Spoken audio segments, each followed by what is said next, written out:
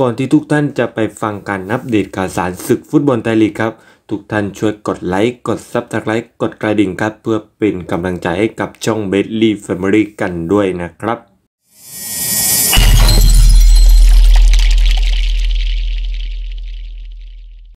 ในขณะที่ประเด็นแรกของช่วงเย็นวันนี้ครับมากันทางฝั่งของทางด้านราชันมังกรราชบุรีมิตรผลเอฟซีกันหน่อยครับเมื่อมีรายงานออกมานะครับว่าเตรียมที่จะเร่งปิดดีลกับทางด้านกัปตันโนตหรือทางด้านจักรพันธ์แก้วพรมในเร็วๆนี้เลยครับ อย่างไรก็ตามครับสำหรับทางด้านจักรพันธ์แก้วพรมครับกองกลางจอมเก๋าของบุรีรัมย์ยูไนเต็ดหมดสัญญากับทีมเป็นที่เรียบร้อยครับ และพร้อมที่จะโพสต์อำลาทีมผ่านเฟซบุ๊กส่วนตัว หลังร่วมสร้างตำนานคว้าแชมป์ไทยลีกถึง 7 สมัย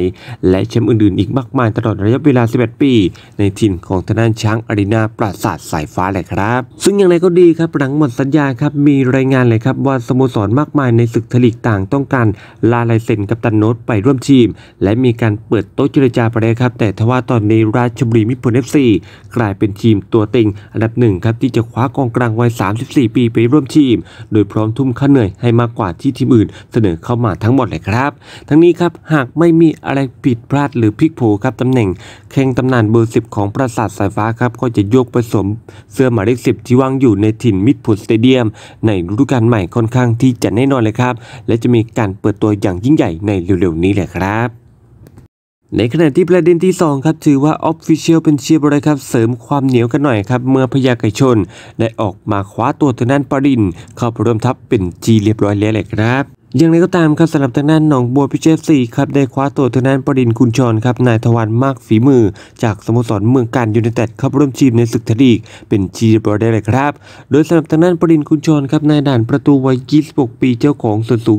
179 เซนติเมตรซึ่งในฤดูกาลที่ผ่านมากับทัพข้างข้าวหมาการในศึกไทยลีก 2 นั้นครับเจ้าตัวทำผลงานได้อย่างโดดเด่นเลยทีเดียว จนได้รับความสนใจจากหนองบัวพิเชษสี่คว้าตัวไปร่วมทีมในที่สุดเลยครับ ซึ่งในขณะที่ล่าสุดครับโดยทางด้านปรินคุณชรครับก็ได้ออกมากล่าวถึงการมาค้าแข่งในทัพพยาไก่ชนเลยครับว่ารู้สึกดีใจมากครับพี่เป็นเกียรติมาก ขอขอบคุณสำหรับโอกาส และนี่เป็นครั้งแรกในไทยลีกผมพร้อมพิสูจน์ตัวเองเลยครับ ฝากถึงแฟนบอลทุกคนนะครับ ติดตามผมและสโมสรหนองบัวพิชญเอฟซีอีกด้วยนะครับ โดยสำหรับทางด้านปรินคุณชรครับก็เคยผ่านการค้าแข้งมาแล้วหลายสโมสรทั้งราชบุรีมิตรผลเอฟซีพะเยาเอฟซีเจเอลเชียงใหม่ยูไนเต็ดไทยฮอนด้าเอฟซีศรีสะเกษเอฟซีและเมืองกาญจน์ยูไนเต็ดเป็นสโมสรล่าสุดเลยครับ ในขณะที่ประเด็นที่ 3 ครับมากับทางฝั่งของทางด้านกัปตันทีมของทางด้านหนองบัวกันหน่อยครับ อย่างทางด้านกัปตันเจ๋งออกมาโพสต์ลาหนองบัว และยืนยันครับจากลาเพราะสัญญาหมดเลยครับ ซึ่งอย่างไรก็ตามครับคือหนึ่งในนักเตะที่ยืนหยัดอยู่กับพยาไกชนหนองบัวพิเชฟซีมาต่อเนื่องตั้งแต่ระดับทลีก2จนสามารถพาทีมเลื่อนชั้น ขึ้นสู่ลีกสูงสุด และช่วยพาทีมจบด้วยอันดับเลขตัวเดียวในฤดูกาลประวัติศาสตร์ของสโมสรบุรีสูงสุดสำหรับทางด้านกัปตันเจ๋งครับหรือทางด้านยุทธพงศ์ศรีละครและล่าสุดครับแข่งกองหลังรายนี้ครับก็ได้หมดสัญญากับต้นสังกัด พร้อมพุทอำลาสโมสรเป็นชีเรียบร้อยเลยนะครับ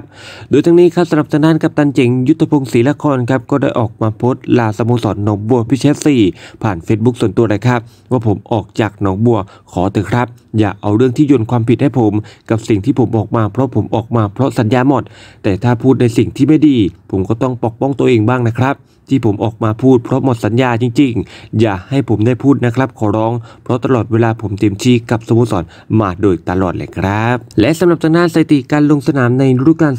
2021 ของทางด้านกัปตันจิงยุทธพงศ์ศรีละคร ทั้งหมด 27 นัดในทลีก24 นัด FA คัพ2นัด และลีกคัพ1นัดด้วยกันเลยครับ ในขณะที่ประเด็นที่ 4 ครับมากันทางฝั่งของธนาสุพนัทเหมือนตากันหน่อยครับ ออกมากระตุ้นทีมชาติไทย ต้องพยายามเอาชนะมาเลเซียได้ในเกมนัดต่อไป เพื่อเพิ่มโอกาสในการเข้าสู่รอบน็อกเอาท์ของศึกชิงแชมป์เอเชียยู23นะครับ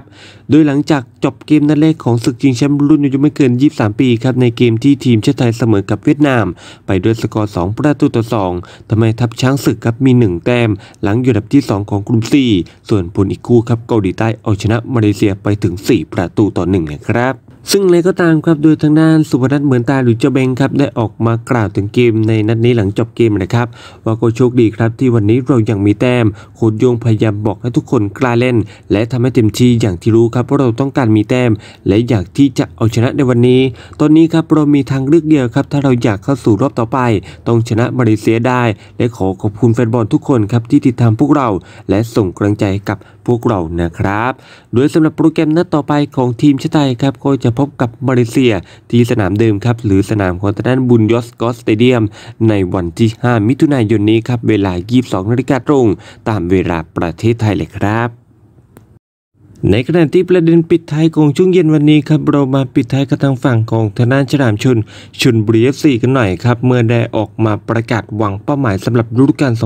2022 เท่ากับฤดูกาล 2021 ที่ผ่านมาครับ คือไทยลีกหนึ่งขอจบ top five และขอคว้าแชมป์หนึ่งบอลถ้วยมาครองให้ได้เลยครับ ซึ่งอย่างไรก็ตามครับแหล่งข่าวครับได้ออกมาเปิดเผยเลยครับว่าบอร์ดบริหารของทีมชลบุรีเอฟซีวางเป้าหมายสำหรับฤดูกาลหน้า 2022 เป็นเรียบร้อยครับ โดยเป้าหมายก็ยังเหมือนเดิมจากฤดูกาล 2021 ที่ผ่านมาคือทลีกหนึ่งครับวางเป้าหมายขอจบท็อปไฟและขอมีถ้วยแชมป์ฟุตบอล 1 ถ้วยหรือ 1 รายการในการแข่งขันฤดูกาลหน้าเลยครับเอาเป็นว่าถ้าใครชอบคลิปนี้ครับ ก็อย่าลืมกดไลค์ กด subscribe และกดกระดิ่งครับ เพื่อเป็นกำลังใจกับพวกเราทีมงาน b i t l y Family กันด้วยครับ เพื่อนำไปพัฒนาคลิปต่อๆไป แล้วเจอกันใหม่ในคลิปหน้าครับสำหรับวันนี้สวัสดีครับ